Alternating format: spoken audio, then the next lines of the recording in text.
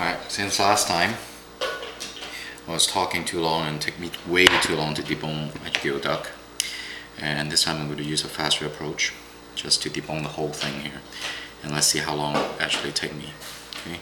Water is boiling and I can pretty much start now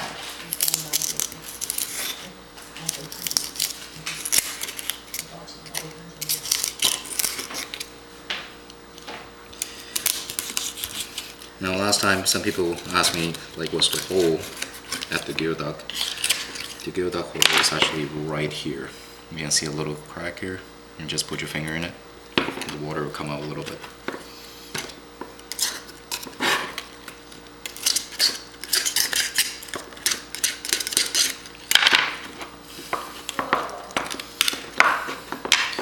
And you see a lot of liquid coming out.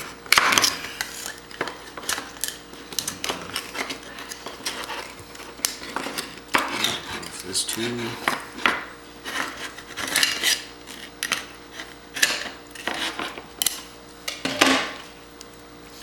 Alright, here we go. This is a filthy little guy.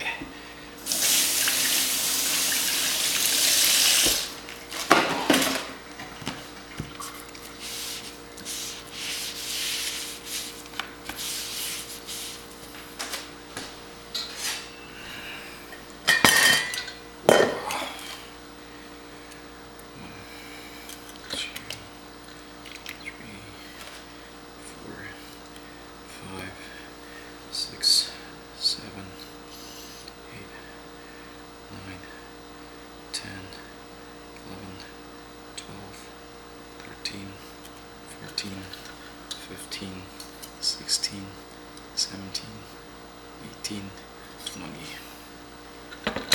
It's good to go.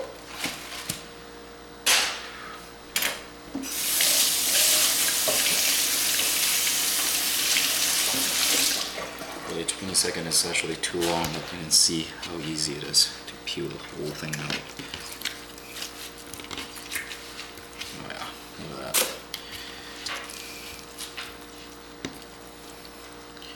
Okay, now use a knife.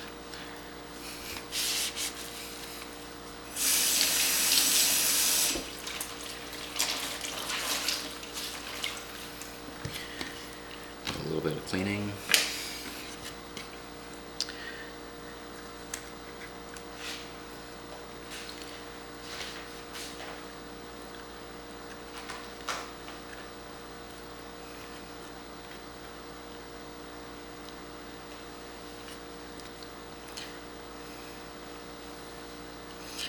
We see all this brown color, you can actually remove it.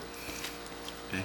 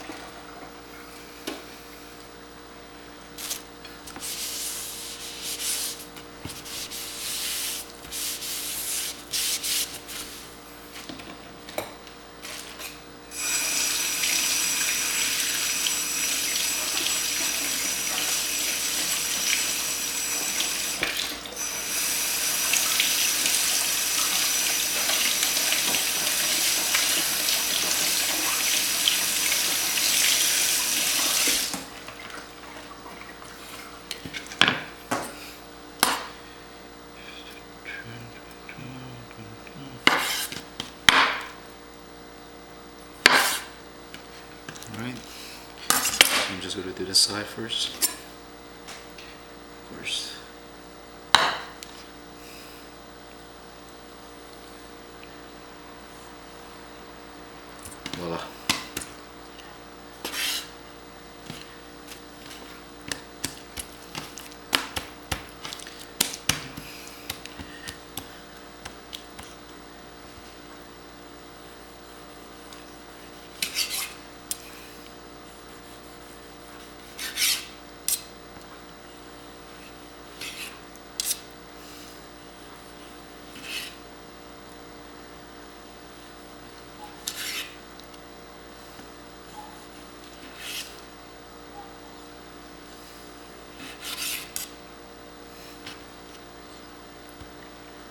So tonight it's my turn to make dinner. So of course I'm doing Japanese cuisine again.